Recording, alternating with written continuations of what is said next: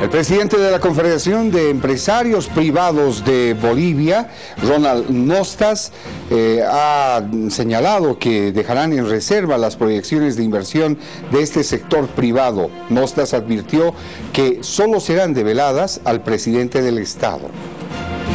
Nosotros, los empresarios, no retaseamos la inversión. Nosotros invertimos lo que las condiciones eh, macroeconómicas y microeconómicas nos permiten, las condiciones, eh, eh, las condiciones